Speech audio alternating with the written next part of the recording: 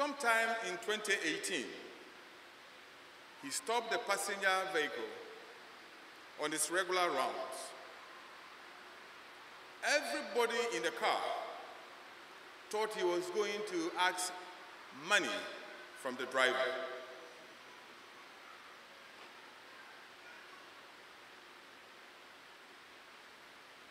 As this has been the image the vast majority of Ghanaians hold about the Ghana Police Service.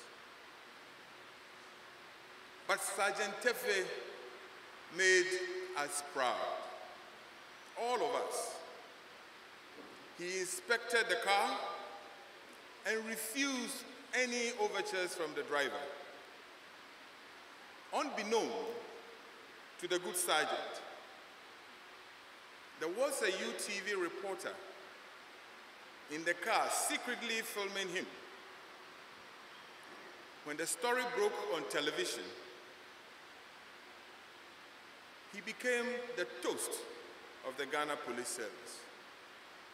In that moment, Sergeant Tefe had inspired to the international best practice. And that I am happy to say is still the everyday goal of the Ghana Police Service.